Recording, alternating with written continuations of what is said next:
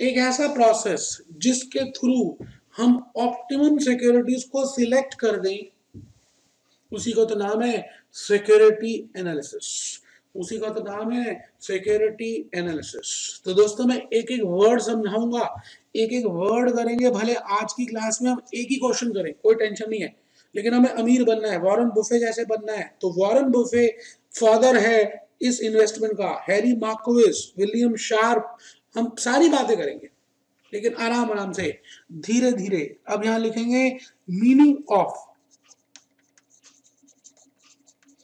meaning of portfolio management meaning of portfolio management बेटे, मैंने तीन वर्ड्स लिखे हैं। पहले लिखा मैंने सिक्योरिटी फिर लिखा मैंने सिक्योरिटी एनालिसिस और फिर समझा रहा हूँ पोर्टफोलियो मैनेजमेंट वैसे पोर्टफोलियो क्या होता है? बता सकते हैं आप में से कोई?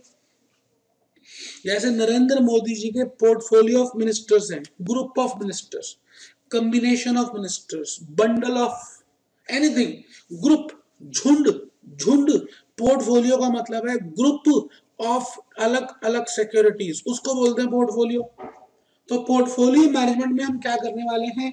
आप पहले लिख लें effective it is effective and efficient. It is effective and efficient. Maximisation मैं दो वर्ड्स यूज़ करूँगा. Maximisation of return and risk बेटे, दो अक्षर यूज़ कर दिए. ढाई अक्षर प्रेम के होते हैं बेटे. ढाई अक्षर प्रेम के. यहाँ पर मैंने दो अक्षर यूज़ किए हैं. It is effective and efficient maximization of return with given risk. मैंने वहाँ पे थोड़ा सा ठीक नहीं लिखा। कोई बात नहीं फ्लो चार्ट है इसको एक्सप्लेन करेंगे। Effective and efficient maximisation of return and minimisation of risk मेरे पास जगह नहीं थी। अब ये कैसे कर सकते हैं, इसके लिए बेटे आपको मेरे तीन क्वेश्चंस का आंसर देना पड़ेगा। उसी से नीचे आ रहा है। You have to answer three question अगर आप ये तीन क्वेश्चन का आंसर कर दें, अगर आप ये थ्री क्वेश्चन का आंसर कर दें तो यकीन मानिए, आपका ये चैप्टर हुआ ही हुआ और आप अमीर बने ही बने। अभी मैंने कोई क्वेश्चन नहीं कराया बेटे। अभी तो लॉजिक समझ रहे हैं। ये चैप्टर बना क्यों? इस चैप्टर के पीछे सिद्धांत क्या है? हम किन चीज़ों का ध्यान रखेंगे? हम स्टैटिस्टिक्स की मदद लेंगे, हम फ्लो चार्ट्स की मदद लेंगे। तो मैं यहाँ पे लिख रहा हूँ व्हाट पहला क्वेश्चन है what is to be what is to be purchased सबसे पहली बात हमें पता होना चाहिए, हमें क्या खरीदना है? What is to be purchased क्या खरीदे?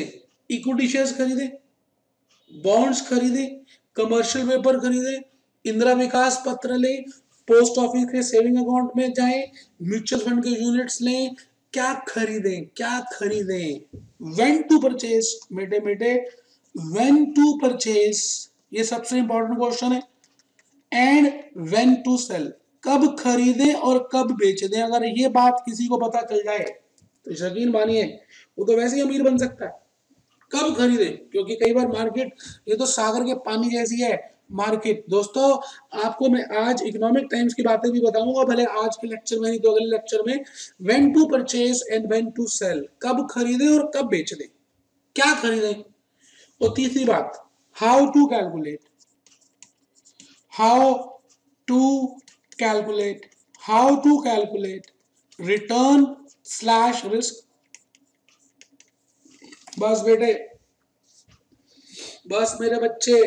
बस मेरे लाल, अगर ये तीन क्वेश्चंस का आंसर आपने दे दिया तो आप समझ लीजिएगा कि आप आराम से ये पूरा चैप्टर कर सकते हैं और इन तीन क्वेश्चंस का आंसर देने के लिए मेरे बेटे, हम चार स्टेप्स फॉलो करेंगे। We will follow four steps बस बेटे, चार स्टेप फॉलो किए नहीं आपके तीन क्वेश्चन का आंसर आया नहीं और आपने इस चैप्टर को किया नहीं।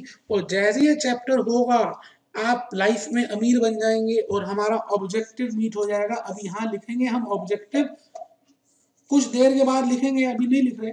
यहाँ लिख दीजिए objective of security analysis and portfolio management बस बेटे objective of security analysis and portfolio management इसको देखेंगे। अब आप ये बताइए कि मैं आपसे पहला स्टेप ये पूछूँगा। मैं आपसे पूछूँगा, मैं यहाँ पर लिखूँगा। पहला आपको पता होना चाहिए step number one types of securities securities कितने तरह की होती हैं? मैं तो आपसे कहना चाह रहा हूँ securities are of two types दो तरह की सिक्योरिटीज होती हैं दोस्तों इस दुनिया में। एक ऐसी जिसको हम कह सकते हैं fixed income fixed income bearing fixed income bearing securities ऐसी सिक्योरिटीज जिसमें हमें फिक्स्ड इनकम मिलती है। जैसे डिवेंचर्स के ऊपर फिक्स इंटरेस्ट मिलता है। जैसे बैंक की एफडी के ऊपर फिक्स इंटरेस्ट मिलता है। बिल्कुल वही जो आप समझ रहे हैं। और दूसरी होती है बेटे, दूसरी होती है, दूसरी होती है non fixed non fixed non fixed income बेटे जगह नहीं थी, थोड़ा सा बड़ा हो गया, कोई बात नहीं। Non fixed income bearing securities मैंने कहा जी, पहली बात स्टेप वन में पता होनी चाहिए कि कौन सी सिक्योरिटीज खरीदनी है? मैंने कहा जी, दो तरह की सिक्योरिटीज हैं।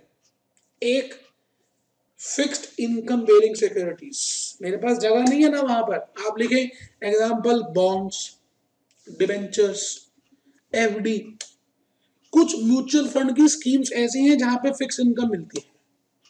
और non fixed income variable income bearing securities जिसका सबसे प्रमुख एग्जांपल है इक्विटी शेयर्स इक्विटी शेयर्स तो पहली चीज़ मैं आपको स्टेप नंबर वन में ये बताई और स्टेप नंबर टू में ये बताना चाहता हूँ types of security markets types of security markets security markets कौन सी होती हैं? तो बेटे, वैसे अलग अलग प्रकार की होती है, लेकिन अभी ज़्यादा डीप में नहीं करेंगे। मैं खाली दो चीज़ें बताना चाह रहा हूँ। एक बेटे प्राइमरी मार्केट और एक बेटे सेकेंडरी मार्केट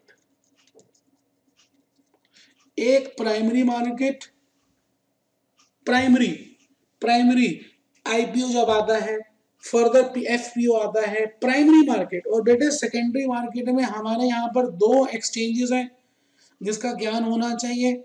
लिख लें Bombay stock exchange and national stock exchange Bombay stock exchange and national stock exchange. आराम से बेटे कोई जल्दी नहीं है। एक क्वेश्चन कम कर लेंगे। पहली क्लास है बेटे। लॉजिक समझना है बेटे। फाउंडेशन बनानी है बेटे। आप टेंशन बिल्कुल मत लो। मेरे होते, मैं जो कंसेप्ट बताऊँगा, मैं आपको जो क्वेश्चंस कराऊँगा, यकीन मानिए, बस वही आएँगे वही आएँगे वही आएँगे। आप ध्यान से बस कंसेप्ट को क्लियर करिए। तो मैंने कहा, पहली चीज़ मैंने बता दी, अब मैं स्टेप नंबर टू की तरफ़ बढ़ूँगा और step number two question number two का आंसर करेगा when to purchase and when to sell उसके लिए मैं आपको सामने स्टेप नंबर टू यहाँ लिखूँगा और स्टेप नंबर टू में मैं आपसे ये कहूँगा कि आप मुझे एक चीज़ बताइए कि अगर एक लड़के की और एक लड़के का विवाह होता है। जैसे आपके घर में आपके भाई बहन का हो रहा, होता हुआ होगा, आपका भी होगा। बेटे, ठंड रखो, अभी ठंड रखो। पहले सीएस तो बन जाओ। बेटे, पहले सीएस बन जाओ। मैं कहता हूँ, आप कभी ध्यान से देखें, ये लड़की है, मान लेते हैं। ये लड़का है, मान लेते हैं। लड़की के माता पिता लड़की के माता पिता सबसे पहले क्या करेंगे? लड़के का एनालिसिस करेंगे। एनालिसिस ही तो करेंगे। तो मैंने कहा, इसका नाम पड़ गया लड़का एनालिसिस अब कैसे लड़का एनालिसिस कराया जाता है? आप बताइए। उसके उसके स्टार्स को देखा जाएगा। लड़की के स्टार से कंपेयर किया जाएगा। फिर उसके खानदान को देखा जाएगा। और उसके पूर्वज कौन कौन थे? ये भी तो देखा जाएगा कि पूर्वज कौन थे? उसके खानदान में पूर्वज कौन थे? उनको देखेंगे। माता पिता को देखेंगे। माता पिता को देखेंगे। माता पिता क्या हैं, कैसे हैं, कितने पढ़े लिखे हैं, उनका घर कैसा है, कहाँ रहते हैं, उनका रहन सहन कैसा है, ये सारी बातें हम देखेंगे। और लास्ट में लड़की के माता पिता उस लड़के के बारे में देखेंगे कि वो लड़का कैसा है, दिखने में कैसा है हाइट कैसी है पढ़ा लिखा कितना है? नौकरी कहाँ करता है? कितने कमा लेता है? बेटे सारी बातें इंपॉर्टेंट होती हैं, क्योंकि उन्होंने लड़की का दान देना है। कहते हैं, इस दुनिया में सबसे बड़ा दान कन्या दान है। जो ये दान नहीं देता, भगवान उसको दोबारा नीचे भेज देता है। और वो कहता है, जी, कन्या का दान करके आओ पहले। तो बेटे, लड़की वालों ने तो लड़की को दान में देना है। तो दान देने से पहले ये तो चेक कर लें कि जिस प्यार से उन्होंने अपनी बेटी को बड़ा किया है, क्या वो वहाँ पर खुश भी रह पाएगी या नहीं? तो इस एनालिसिस को हम कहते हैं फंडामेंटल एनालिसिस ये जो लड़का एनालिसिस है, इसको कहते हैं फंडामेंटल एनालिसिस अगर आप ध्यान से देखें तो इस फंडामेंटल एनालिसिस में तीन तरह के एनालिसिस किए आपने।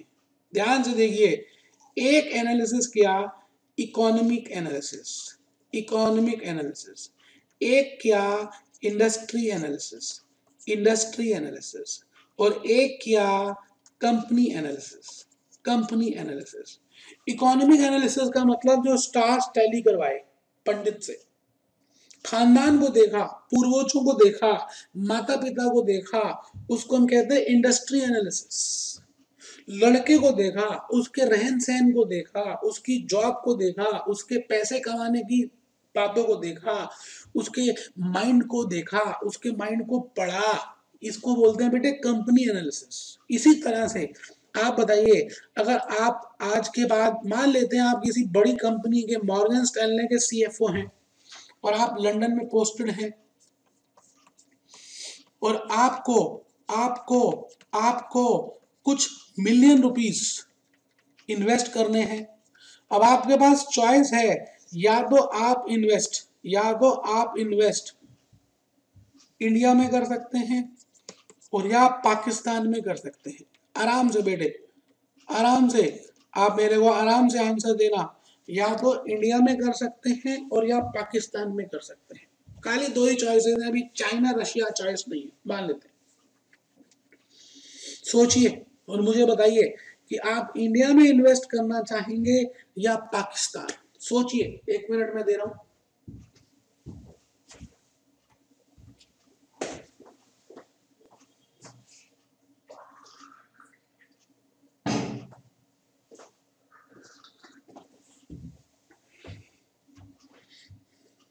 मैं अगर आपकी जगह होता या मैं अगर इस सीएफओ की जगह होता, जो मॉर्गन स्टैनले के फिफ्टी फ्लोर में लंदन में बैठा है तो नो डाउट मेरी डिसीज़न तो एकदम होती इंडिया इसलिए नहीं कि मैं इंडिया से बिलोंग करता हूँ, क्योंकि इंडिया के अंदर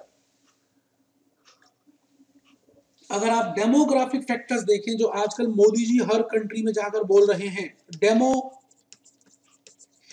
graphic factors demographic factors मतलब आप इंडिया की जीडीपी देखें, आप इंडिया की नेशनल इनकम देखें, आप इंडिया की पर कैपिटल इनकम देखें, आप इंडिया में एजुकेशन का लेवल देखें, आप इंडिया में इन्फ्लेशन देखें तो आपको इसके कंपैरेटिवली पाकिस्तान जैसे दोनों देश एक ही साथ आज़ाद हुए दोस्तों, कुछ मिनटों की बात थी, कुछ मिनट पहले पाकिस्तान हुआ और कुछ मिनट के बाद हिंदुस्तान हुआ। अगर आप दोनों देशों को देखें दोनों एक साथ आज़ाद हुए, लेकिन आज अगर आप इकोनॉमिक डेवलपमेंट देखें तो यकीन मानिए जीडीपी को लेकर ग्रॉस प्रोडक्ट को लेकर एग्रीकल्चर को लेकर प्राइमरी सेक्टर को लेकर एग्रीकल्चर को लेकर ट्रेजरी सेक्टर को लेकर सेकेंडरी को लेकर इंडिया में दोस्तों ज़्यादा ग्रोथ है। तो इसका मतलब आप कहीं ना कहीं लंदन में बैठे हुए इकोनॉमिक एनालिसिस कर रहे हैं। एक इकोनॉमी को पढ़ रहे हैं कि वो इकोनॉमी कैसी है। डेमो आज मोदी जी कहते हैं कि मेरी इंडिया का डेमोग्राफिक बड़ा अच्छा है। मेरे यहाँ पर यंग लोग बहुत हैं। जिस कंट्री में ज़्यादा यंग लोग होते हैं, यकीन मानिए वो कंट्री ग्रो करती है। यकीन मानिएगा इसी तरह से आप पहले इकोनॉमिक एनालिसिस करेंगे। अच्छा अब ये बताइए, मान लेते हैं इंडिया आपने चूज़ कर लिया। आपने इंडिया चूज़ कर लिया। अब इंडिया में अगर आप आज से देखना शुरू करें तो हमारे यहाँ पर बॉम्बे स्टॉक एक्सचेंज को रिप्रेजेंट करने के लिए एक सेंसेक्स है सेंसेक्स है। और निफ्टी निफ्टी एक अलग से बेंचमार्क है नेशनल स्टॉक एक्सचेंज को रिप्रेजेंट करने के लिए। तो आप बताइए, आप कौन से सेक्टर में इन्वेस्ट करेंगे? मैं अगर आपको चॉइस दूँ आईटी इंफॉर्मेशन टेक्नोलॉजी ये सेक्टर एक है। FMCG fast moving capital goods एक ये सेक्टर मान लेते हैं, एक मान लेते हैं फार्मा फार्मास्यूटिकल्स फार्मास्यूटिकल्स वैसे सेक्टर बारह तेरह है। वो भी हम अगली क्लास में देखेंगे कि सेक्टर को कैसे निकालते हैं। मैं आपसे ये कह रहा हूँ, मैं आपसे ये कह रहा हूँ कि सेंसेक्स में अलग अलग सेक्टर्स हैं, जैसे आईटी का सेक्टर है एफएमसीजी है फार्मास्यूटिकल है। अब आप बताइए, इनमें से कौन सा सेक्टर आप लेंगे? सोचिए, मैं एक मिनट दे रहा हूँ।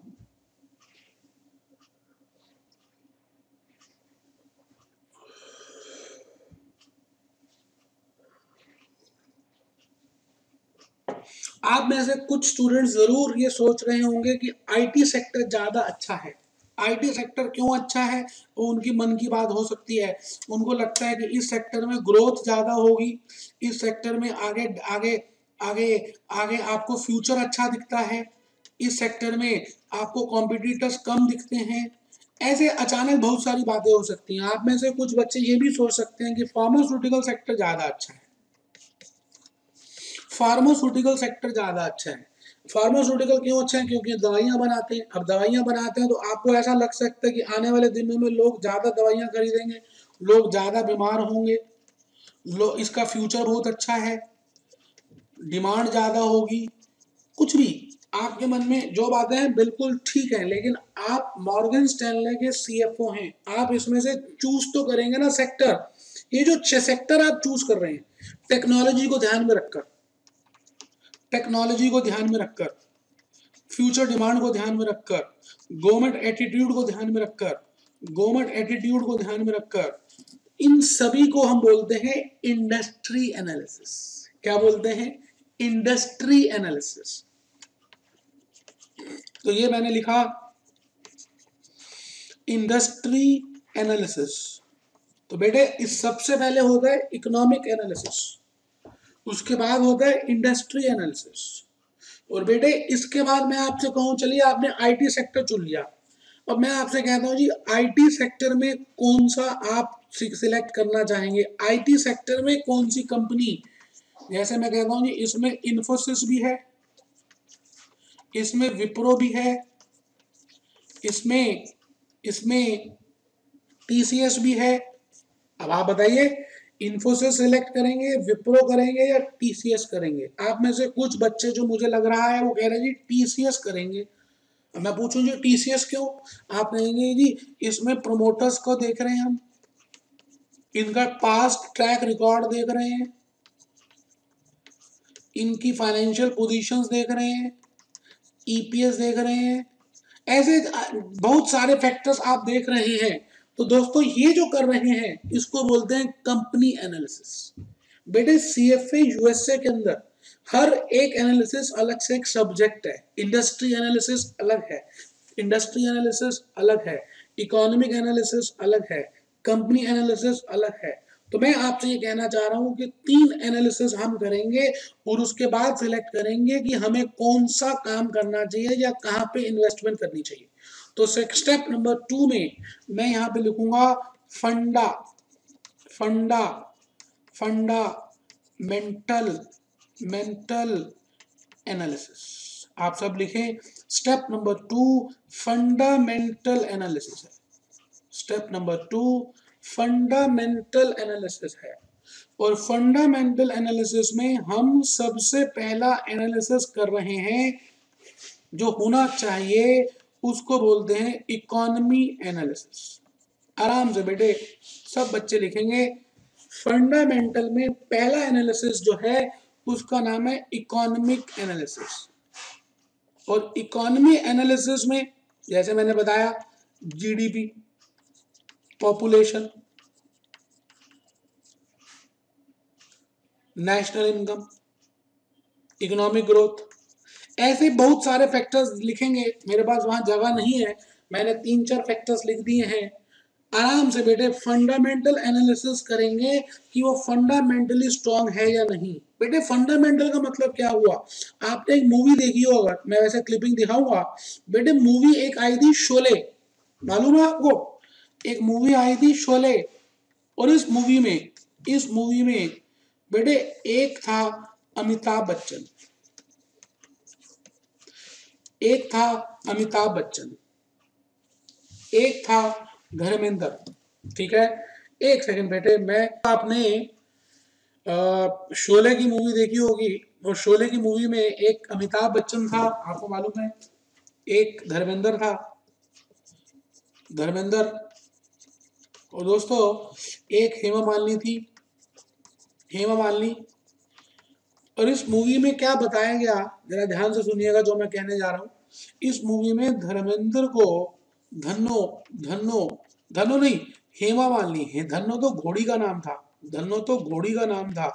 धनो नहीं, धर्मेंद्र को हेमा मालिनी से प्यार हो जाता है। मैं हेमा मालिनी का नाम क्या था उस कैरेक्टर में मेरे को नहीं पता, लेकिन मुझे इतना मालूम है कि धर्मेंद्र को हेमा मालिनी से प्यार हो जाता है। और इतना प्यार ऊपर ज़ोर मारता है कि वो बड़ी सी टैंकी के ऊपर चढ़ जाता है धर्मेंद्र और विस्की की बोतल ले लेता है और विस्की पीकर लोगों को, गाँव वालों को कहता है कि, गाँव वालों गाँव वालों, मेरी शादी करा दो, मेरी शादी करा दो, हेमा मालिनी से। ये मूवी शायद आपने देखी होगी और आपको ये सीन भी याद आ रहा होगा, लेकिन मैं अब आपको कुछ और बताना चाह रहा हूँ। अमिताभ बच्चन जब ये धर्मेंद्र टैंकी के ऊपर चढ़ा होता है तो अमिताभ बच्चन एक पेड़ के नीचे मौसी के साथ बैठा होता है।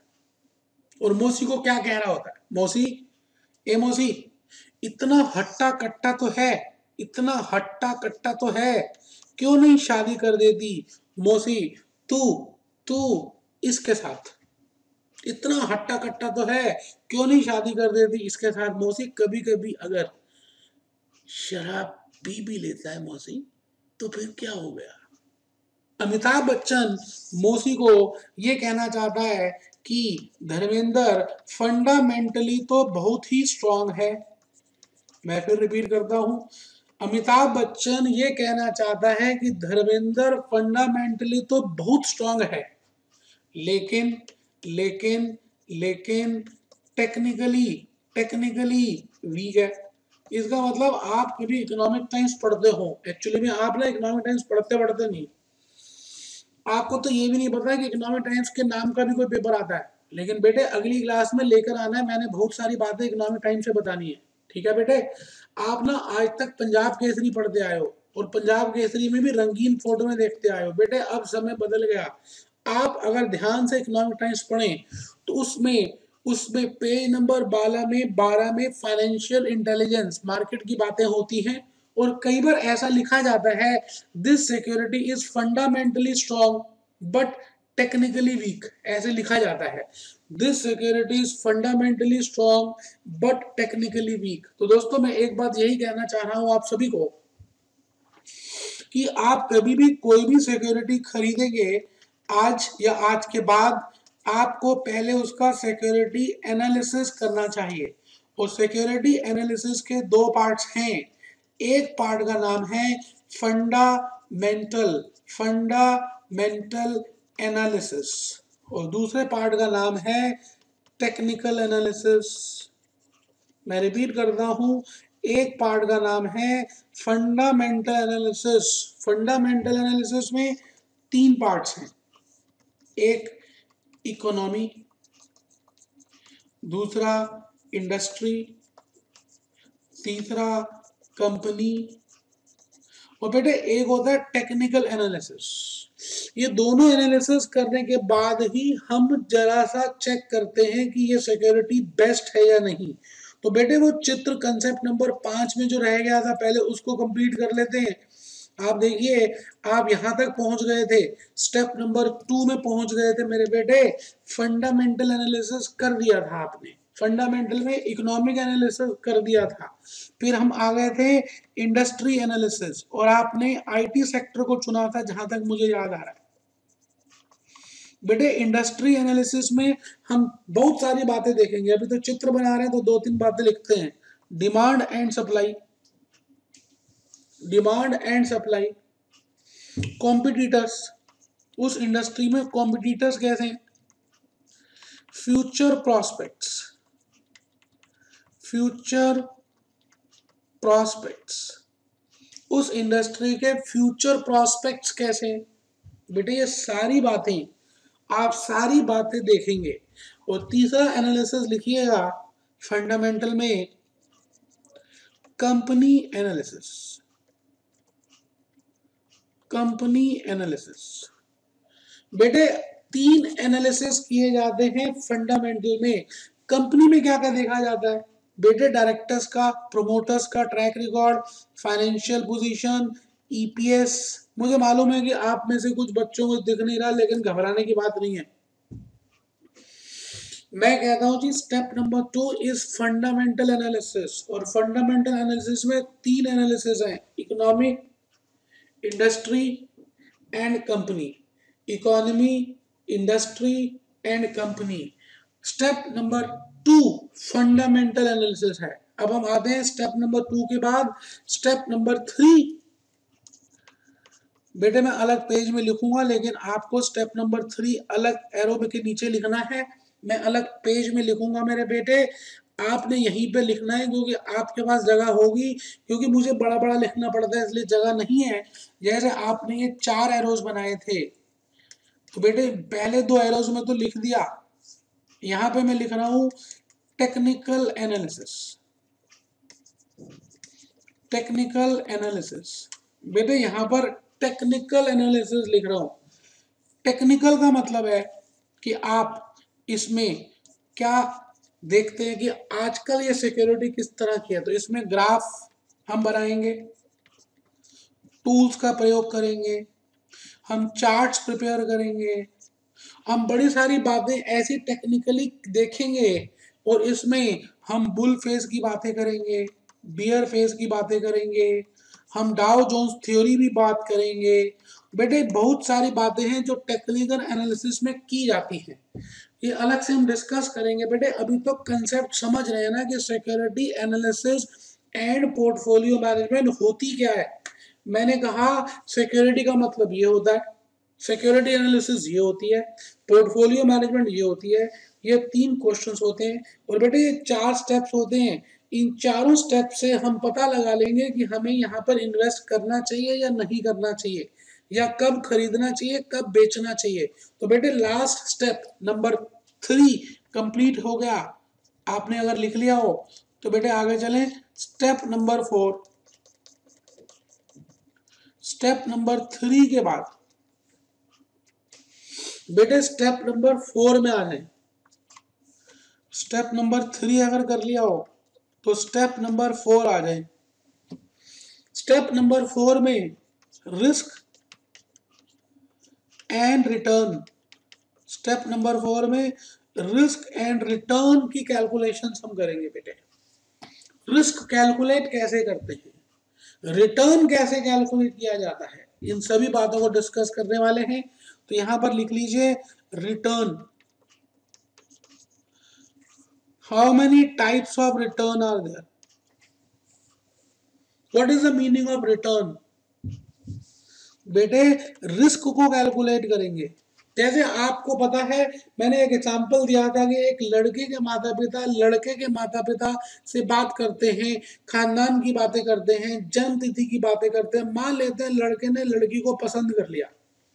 और एक दिन विवाह का मुकर्र भी हो गया, और विवाह हो भी गया। हर चीज़ बाराती आए, खाना खा के चले भी गए। अब बेटे, आपको मालूम है कि सुबह चार बजे, अगले दिन सुबह चार बजे कन्या की डोली की विदाई होती है बेटे, तारों की छाव में, तारों की छाव में। अब बेटे, हमने इन्वेस्टमेंट कर दी सिक्योरिटीज खरीद ली एनालाइज कर दिया, सब बढ़िया था। बेटे, जब इन्वेस्टमेंट कर दी, डोली जाने के बाद रिटर्न और रिस्क तो होगा ना बेटे रिटर्न भी होगा रिस्क भी होगा। तो लास्ट स्टेप है कि हम देखेंगे कि आपस में लड़का लड़की प्यार, मोहब्बत से रह रहे हैं, लड़ाइयाँ कर रहे हैं। कहीं डिवोर्स की पोजीशन तो नहीं आ गई, ये मोहब्बत से रहते हैं या नहीं रहते, एक दूसरे की बात मानते हैं नहीं मानते तो बेटे हम कैलकुलेट करेंगे रिटर्न कितना है। हम कैलकुलेट करेंगे रिस्क कितना है। तो बेटे calculation of return calculation of risk इसके बाद बेटे, मैं यहाँ पर कुछ मॉडल्स का प्रयोग करूँगा, जैसे हैरी मार्कोविस, बेटे विलियम शार्प, बेटे विलियम शार्प, बेटे मैं कुछ लाइनों का प्रयोग करूँगा, जैसे जैसे कैपिटल मार्केट लाइन, जैसे सिक्योरिटी मार्केट लाइन तो इन सभी बातों को मैं डिस्कस आपके सामने करने वाला हूँ और मैं चाहता हूँ कि आप ये चारों स्टेप्स एक बार लिख लें, चारों स्टेप्स लिख लें। दोस्तों, बस ये समझ लीजिए, अगर आपने ये चारों स्टेप्स ईमानदारी से किए और मेरी बातों को सुना है तो यकीन मानिए, आपकी लाइफ में सिक्योरिटी एनालिसिस का ऑब्जेक्टिव पूरा हो जाएगा। आइए, अब हम यहाँ पर लिखें objective of security analysis and portfolio management मुझे एक बात बताइए, जब मुझे पता है कि कितने शेयर्स खरीदने, मुझे ये भी पता है कब खरीदने, कब बेचने, मुझे रिटर्न कैलकुलेशन भी पता है, मुझे रिस्क कैलकुलेशन